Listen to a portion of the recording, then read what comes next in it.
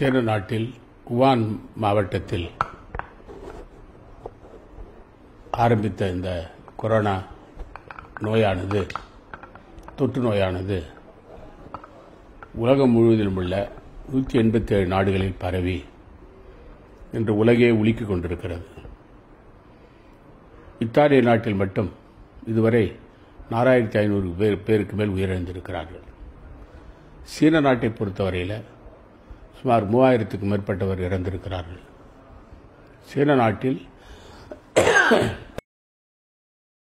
சீன அரசாங்கம் எடுத்த நடவடிக்கையால் இப்பொழுது இந்த கொரோனா தொற்று நோயானது கட்டுப்படுத்தப்பட்டிருக்கிறது.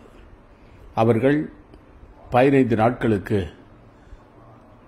சீன நாட்டில் உள்ள அனைத்து மக்களும் வீட்டை விட்டு வெளியிலே வரக்கூடாது என்று கட்டுப்பாடு போட்டது மட்டுமல்லாமல் இராணுவத்தை வைத்து எல்லைகளை மூடியிருக்கிறார்கள். அதனால் உடனடியாக சீன நாடு இந்த கொரோனா தொற்று நோயிலிருந்து முழுமையாக பாதிப்பில்லாமல் வந்திருக்கிறது. ஆனால் சில நாடுகள் ஈரான் போன்றவைகள் இத்தாலி போன்றவைகள் தென்கொரியா மற்ற நாடுகள் எல்லாம் பெரிய அளவில் பாதிக்கப்பட்டிருக்கின்றன. குறிப்பாக ஐரோப்பிய கண்டத்தில் உள்ள பிரான்ஸ் இங்கிலாந்து போன்ற ஜெர்மனி போன்ற நாடுகள்லாம் பாதிக்கப்பட்டிருக்கின்றன. இந்தியாவினுடைய அதன் தா- இந்தியாவில் அதனுடைய தாக்கம் அதிகமாக ஆகிக்கொண்டிருக்கிறது. நேற்று மட்டும் எழுபத்தி மூன்றுக்கு பே- மேற்பட்டவர்கள் இறந்து இப்போ குறிப்பாக இந்த கொரோனா நோய் கண்டுபிடிப்பு இருந்து அவர்கள் ஐசோலேஷன் பகுதியிலே வைக்கப்பட்டிருக்கிறார்கள். இதுவரை ஐந்து பேர் இந்தியாவிலே உயிரிழந்திருக்கிறார்கள்.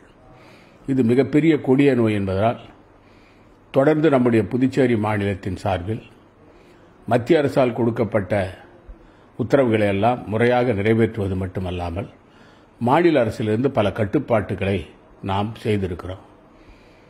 பொதுமக்கள் கூடுகிற இடங்களில் அவர்கள் அதை தவிர்க்க வேண்டும் என்று திருவிழாக்கள் கோயில்கள் மசூதிகள் சர்ச்சுகள் போன்றவைகளை மூடுவதற்கு உத்தரவிட்டிருக்கிறோம்.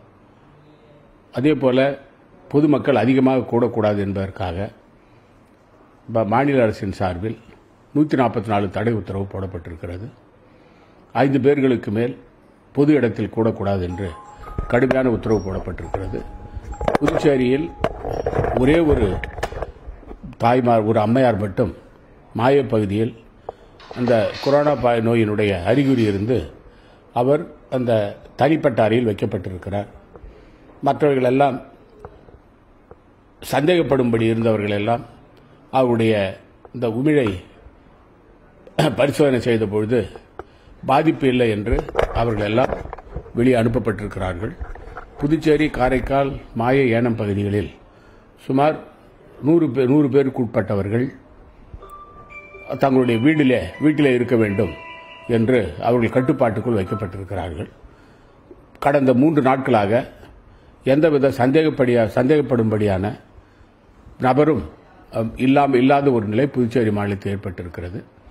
தொடர்ந்து காவல்துறை மருத்துவத்துறை அதிகாரிகள் வருவாய்த்துறை அதிகாரிகள் காவல்துறை அதிகாரிகள் பொது இடங்களை கண்காணித்து வருகிறார்கள். குறிப்பாக முனிசிபாலிட்டி கொம்யூன் பஞ்சாயத்து மூலமாக மருந்து தெளிப்பதிலிருந்து ப்ளீச்சிங் பவுடர் போடுவதிலிருந்து ஆன நடவடிக்கை எடுத்து வரோம். காவல்துறை மக்களை அதிகமாக கூடக்கூடாது என்று அவர்கள் பார்த்து கொண்டிருக்கிறார்கள். எல்லைப் பகுதியில் வெளிநாட்டிலிருந்தவர்கள் வெளிமாநிலத்திலிருந்தவர்கள்லாம் பரி பரிசோதனை செய்யப்பட்டு உள்ளே அனுப்பப்படுகிறார்கள்.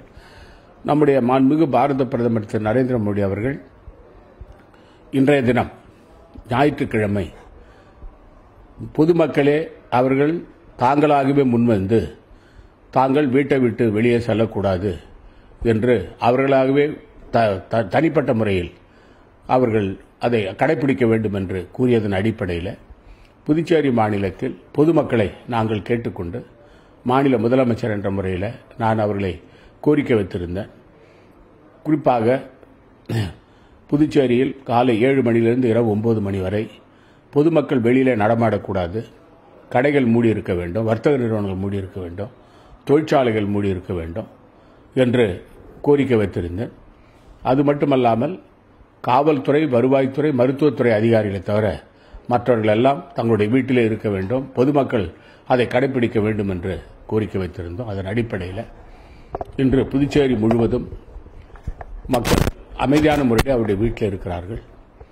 அந்த கொரோனா நோய் பாதிப்பை பற்றி அவர்களுக்கு விழிப்புணர்வு ஏற்படுத்துவதற்கான திட்டங்களையும் காவல்துறை மூலமாகவும் மருத்துவத்துறை மூலமாகவும் அங்கன்வாடி ஊழியர்கள் மூலமாகவும் ஆஷா ப- பணியாளர்கள் மூலமாகவும் மற்றும் வருவாய்த்துறை அதிகாரிகள் மூலமாகவும் நம்ம அதை நடைமுறைப்படுத்துகிறோம் இப்படி செய்வதன் மூலமாக நம்முடைய புதுச்சேரி மாநிலத்தில் ஓரளவு இந்த கொரோனா ப- தொற்றுநோய் பரவுவதை தடுத்து நிறுத்த முடிகிறது. பொதுமக்கள் முழுமையாக எங்களுக்கு எங்களுடைய அரசுக்கு இந்த கொரோனா தொற்றுநோய் வராமல் இருப்பதற்கு ஒத்துழைப்பு தருகிறோம் அவர்களுக்கு நான் நன்றியை தெரிவித்துக் கொள்கிறேன்.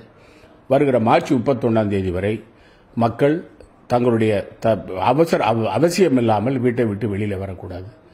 அவர்கள் பாதுகாப்பாக இருக்க வேண்டும். கைகளை அதாவது சோப்பு போட்டு கழுவ வேண்டும். அது முறைப்படி கழுவ வேண்டும். அதே போல தங்களுடைய குடும்பத்தைச் சேர்ந்தவர்களுக்கும் அதை கற்றுத்தர வேண்டும் என்ற கோரிக்கை வைத்திருக்கிறோம். இது இன்றைய தினம் நாம் பொதுமக்கள் பொதுமக்களுக்கு ஒரு உதாரணமாக இருக்க வேண்டும் என்ற முறையில் முதலமைச்சர் என்ற முறையில் நான் வீட்டை விட்டு இன்று ஏழு மணிக்கு மேல் வெளியிலே செல்லவில்லை.